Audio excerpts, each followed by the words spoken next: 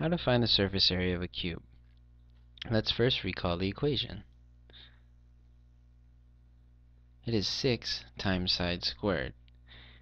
It is this because a cube has 6 faces.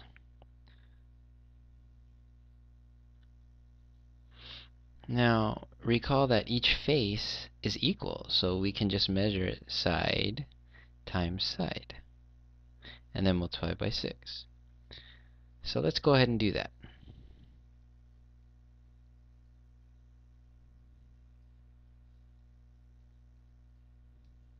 So I go ahead and substitute, so 6 times 3 times 3, and then 6 times 9, which gives me 54.